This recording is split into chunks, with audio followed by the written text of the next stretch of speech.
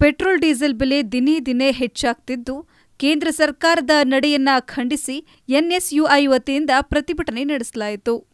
ನಗರದ ತುಣಚಿಕೊಪ್ಪಲಿನಲ್ಲಿರುವ petrol bunk ಬಳಿ ಅಂಟಿಸಿದ್ದ ಪ್ರಧಾನಿ ನರೇಂದ್ರ ಮೋದಿ ಭಾವಚಿತ್ರವಿರುವ ಪೋಸ್ಟರ್ಗೆ ಮಸಿ ಬಳಿದು ಆಕ್ರೋಶ ವ್ಯಕ್ತಪಡಿಸಿದರು ಭ್ರಷ್ಟ ನರೇಂದ್ರ ಮೋದಿ ಸರ್ಕಾರಕ್ಕೆ ಬಡವರ ವಿರೋಧಿ ನರೇಂದ್ರ ಮೋದಿ ಸರ್ಕಾರಕ್ಕೆ ಭ್ರಷ್ಟ ಬಿಜೆಪಿ ಸರ್ಕಾರಕ್ಕೆ ತೊಲಗಿಸಿ ತೊಲಗಿಸಿ ಭ್ರಷ್ಟ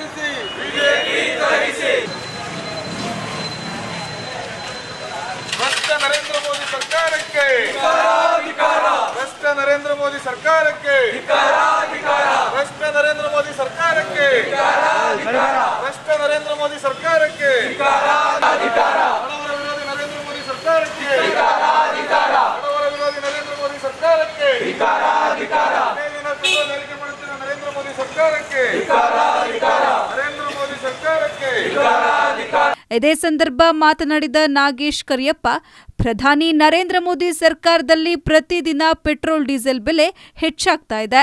ತೈಲ ಬೆಲೆ ಏರಿಕೆಯಿಂದ ಜನರು ಕಂಗಾಲಾಗಿದ್ದು, ಕೇಂದ್ರ ಸರ್ಕಾರ ಗಾಯದ ಮೇಲೆ ಬರಿ ಎಳೆಯುತ್ತಿದೆ. ಇನ್ನಾದರೂ ಜನರ ಕಡೆ ಗಮನ ಹರಿಸಬೇಕು. ಒಂದು ವೇಳೆ ಗಮನ ಹರಿಸದಿದ್ದಲ್ಲಿ ಮುಂದಿನ ದಿನ ಜನ ಅಚ್ಚೇ ದಿನ್ ಯಾರಿಗೆ ಬರುತ್ತದೆ ಎಂದು ತೀರ್ಮಾನಿಸುತ್ತಾರೆ ಎಂದು ಎಚ್ಚರಿಕೆ ನೀಡಿದರು. ಇವತ್ತು ಇಡೀ ದೇಶಾದ್ಯಂತ ಎನ್ ಎಸ್ ವೈ ಪೆಟ್ರೋಲ್ ಏರಿಕೆ ವಿರುದ್ಧ ಪ್ರತಿಭಟನೆ ನಡೆಸ್ತಾ ಇದೆ. ತಾವು ನೋಡ್ಬೋದು ಪ್ರತಿ ದಿನ ಪ್ರತಿ ತಿಂಗಳು ಕೂಡ ಎನ್- ಪ್ರತಿ ದಿನ ಪ್ರತಿ ಗಂಟೆ ಗಂಟೆ ಯಾವಾಗ ಪೆಟ್ರೋಲ್ ರೇಟ್ ಏರಿಕೆ ಆಗ್ತಿದೆ ಅಂತ ದೇಶದ ಜನತೆ ಆತಂಕದಲ್ಲಿ ಇರತಕ್ಕಂಥ ಉದ್ಭವ ಆಗಿದೆ ಇವತ್ತು. ನೋಡ್ಬೋದು ಯು ಪಿ ಎ ಸರ್ಕಾರದಲ್ಲಿ ನಮ್ಮ ಕೇಂದ್ರ ಸರ್ಕಾರ ಕಾಂಗ್ರೆಸ್ ಕೇಂದ್ರ ಸರ್ಕಾರ ಇದ್ದಾಗ ಬ್ಯಾರೆಲ್ ದರ ಪ್ರತಿ ಕ್ರೂಡ್ ಆಯಿಲ್ ಬ್ಯಾರೆಲ್ ಬ್ಯಾರೆಲ್ ದರ ನೂರ ನಲ್ವತ್ತು ಡಾಲರ್ ಇತ್ತು.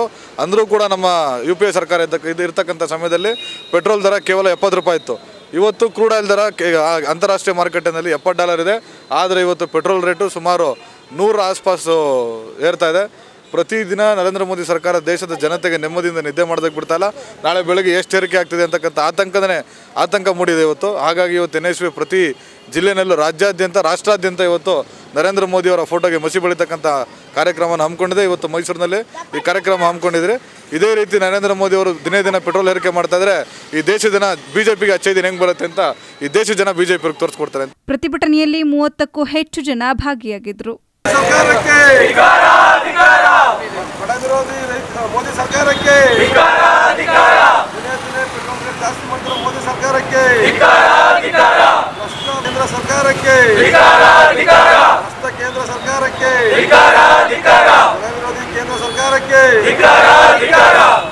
ಬೇಕೇ ಬೇಕು.